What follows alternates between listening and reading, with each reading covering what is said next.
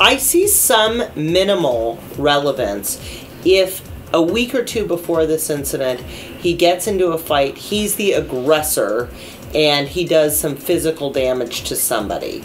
Do you see that as being relevant? Do you see that as actually being an important factor in whether or not he started this fight and whether George Zimmerman had a right to defend himself? I think the most a judge could reasonably do here is have the records brought to her and to review them in an in camera hearing to just give the defense unbridled access is really outrageous because they will misuse the information they'll put it out in the media they'll put it on facebook i don't i know the da moved for a gag order against the defense to my knowledge they haven't gotten it yet uh, the defense is just playing games at this point, and I say that as a defense lawyer. Okay, now I do want to talk about social media because it's become such an important tool both for prosecution and defense. We have another case where the prosecution, it is social media which led to Sarah Jones actually being charged. So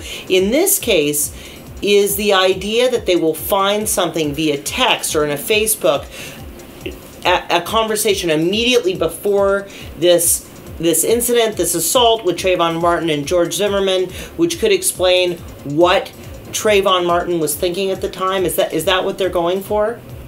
It's not only what Trayvon Martin was thinking. The primary, I think, impetus behind the social media um, search by the defense is for potential witnesses to impeach them going forward. Now, there's a there's an they didn't release a lot of details because there's a juvenile girl who is a witness in this case that is, uh, from what the defense says, a star witness for the prosecution.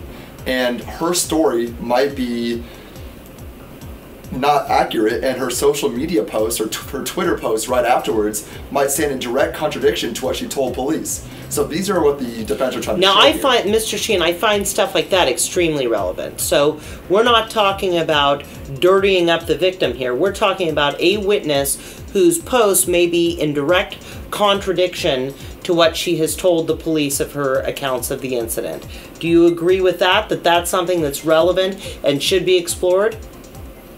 By that logic, I could get the Facebook posts of every police officer who testifies against one of my clients.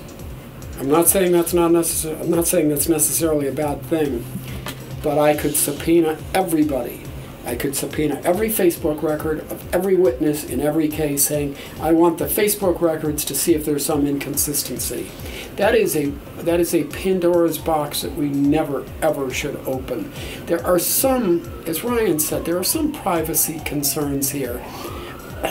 Although I have to admit, Facebook is the least private social. Well, I mean, social how can media you claim site. privacy when you when you share with the world pictures of your kids and where you're going and what you ate last night and how can you then say, "Oh, and by the way, we're allowed to disseminate it, but you're not allowed to have it." I, There's also I don't think you can have it two ways with social media. May I have, in every case, may I have the Facebook postings of every witness to see if there's any inconsistency between what's on Facebook and what they told the police?